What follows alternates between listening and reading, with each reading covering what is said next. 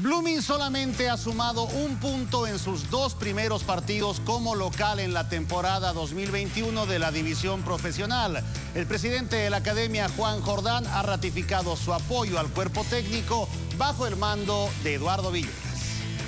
El presidente de Blooming manifestó que brindan total respaldo a Eduardo Villegas. En ningún momento se ha, pensado que él deje eh, el cargo si bien eh, ayer él hace un gesto, que lo conversamos, pero es un gesto donde él dice este, que él tiene eh, culpa de muchas cosas que han sucedido. Ellos son, ellos son hombres de fútbol, ellos están acostumbrados y nosotros hemos hecho eh, un, un, proyecto, una apuesta y vamos a continuar hasta el final.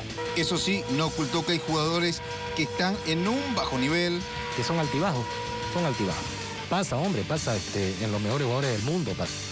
Entonces hay que esperar, hay que esperar que se recuperen y ese es el trabajo de Eduardo y su cuerpo técnico.